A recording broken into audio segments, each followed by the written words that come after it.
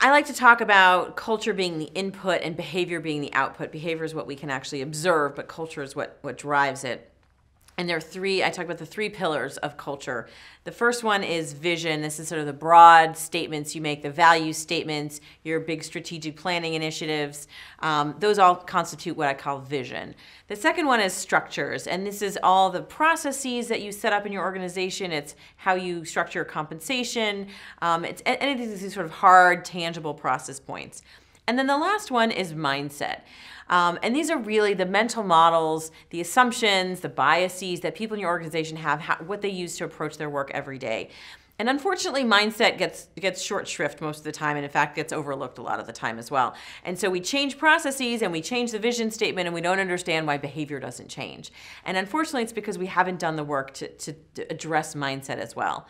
Um, the way that you can understand mindsets and unpack them, there, there are a number of different ways. It's, it usually will in, include some broad sense of um, interviews and surveys to start to get a sense of how people are really approaching the work. Um, you'd be surprised when you have sort of you know bring a third party in to conduct some interviews that people will be pretty candid when you really get them talking about why they behave a certain way what they really feel um, is important in terms of how they succeed in the organization in fact one one bank i've worked with conducted focus groups throughout their organization, they realized there was a huge disconnect between what people believed they needed to do to succeed in the organization, what they thought it took to get promoted or to, to get a, to get a raise, versus what the organization wanted them to think and, and what they espoused. So I think getting that kind of granular view is incredibly important for any organization, and you will start to see the themes kind of bubble up. And then the point is to is to really kind of refine and hone them, um, and you can come up with kind of a core set of mindsets that you believe are driving the organization.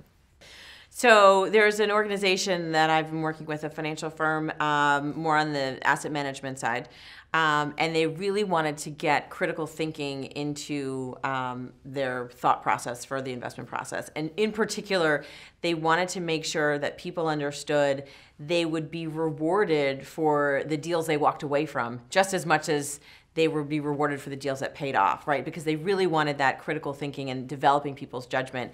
Um, and so they actually, on a number of a number of cases, um, not only rewarded somebody for uh, walking away from a particular deal or saying like, look, we, we looked at this one and we ultimately decided not to do it for X, Y, Z reasons, but also for uh, being playing second chair on somebody else's deal to help them bring critical thinking to their deal and make that better. So you'd see, uh, and they even said, you know, the first time that they went through performance reviews after this kind of new system was in place, there were a lot of people that said, but but that guy, why is he getting such a great bonus? He didn't even lead any deals this year. And they said, yeah, but he second chaired on these two, and he very importantly helped us walk away from this other one that we thought we were going to do, and we value that just as much as being the lead on a deal. Um, and so you, you it, it takes the, the management making a really concerted effort to say we're big baking this in and this is the way it is.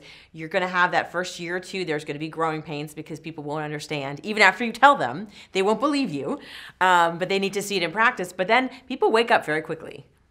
Some of the programs that I've seen that I think are the most effective are the ones that are embracing the dynamics that already exist in an organization, but for good or for the right benefit. So, for example, people in financial services tend to be high achievers, they tend to be very competitive. One of the things we found in my research is that there's a very strong competitive streak, not a surprise to anybody, financial services. But the surprise to me was that it's actually on its own, just pure competition actually has a positive dynamic to it. Um, it is not a bad driver, and it can be associated with building longer term customer relationships, um, thinking more about how you're working for the good of the firm overall, not just yourself. So there are actually some good dynamics in there. Um, the challenge is how do you harness that competition for the other values goals that you might have? And so there's one bank that started filming their executives. They started with the C suite and then it's kind of trickled down, filming executives talking about an ethical dilemma that they faced um, and, and really trying to use you know candid stories that are really part of the fabric of the firm um, and taping a story and then they posted them to their kind of internal site. And it became a competition for whose story got the most clicks, whose video got the most clicks, and then more more executives said, "Well, I want to record a story also because I want to get uh, you know see how many clicks I can get, uh, how many views I can get," um, and it really became it started to snowball through the organization. And I think again, it's a really positive way that people are talking about ethics and values and culture, uh, but harnessing one of the dynamics that already exists.